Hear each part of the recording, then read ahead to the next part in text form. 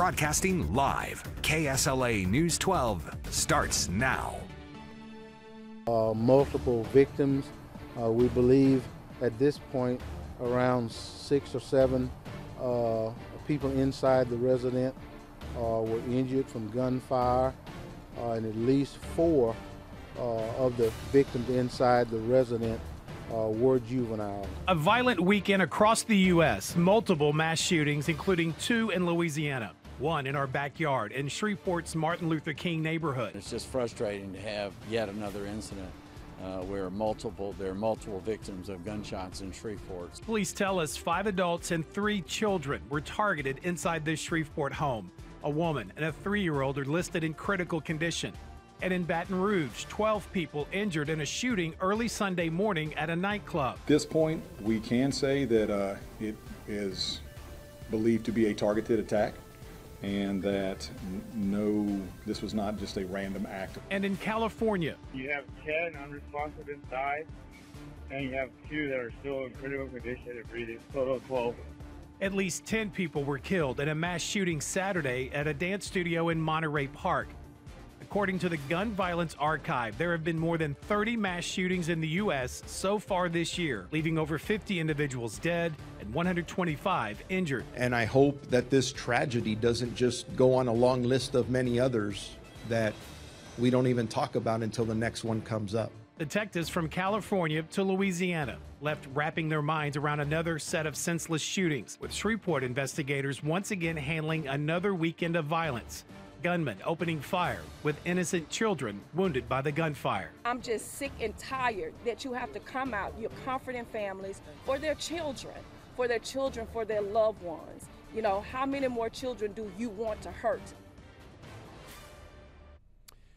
And that was Shreveport City Councilwoman Tabitha Taylor. You heard there sharing her ongoing disgust with the violence and the violent crime in Shreveport. The latest mass shooting happened at a home Sugar Lane in the MLK neighborhood. KSLA Chief Investigative Reporter Stacey Cameron was on scene yesterday shortly after police and paramedics raced there as well. Uh, he's live now at the hospital where many of those family members still recovering tonight, including children. And sadly, it's a pattern we've seen for some time. Children and young teens falling victim and many times teens pulling the trigger.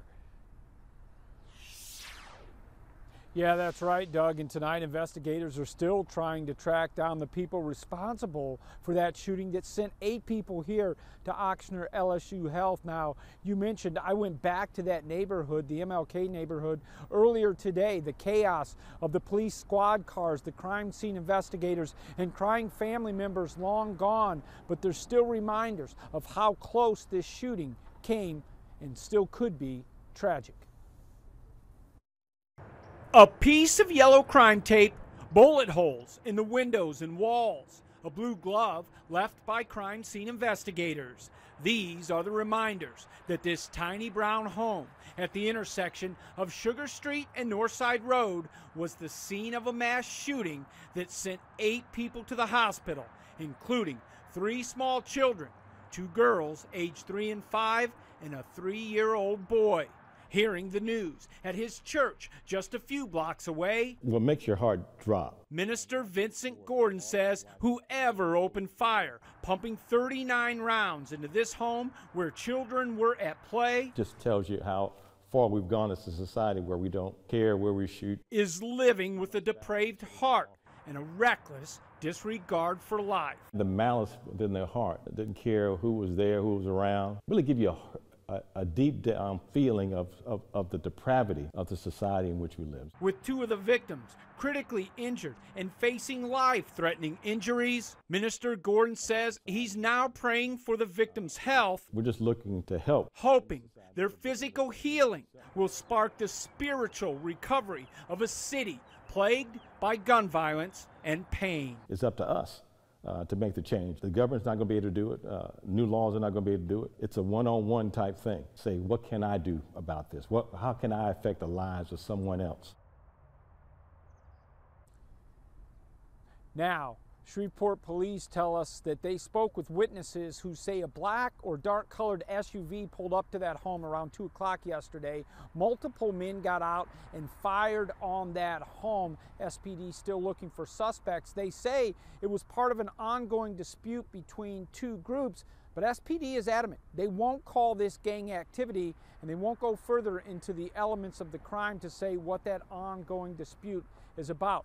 But listen to this. I look back at our own reporting here at KSLA since January 1st. I identified us reporting on at least nine shootings where 19 people have been injured so far this year, three of them killed. It's been a deadly start to 2023. Reporting live outside the hospital, Stacey Cameron, KSLA News 12. All right, Stacey Cameron live for us tonight. Thank you, sir.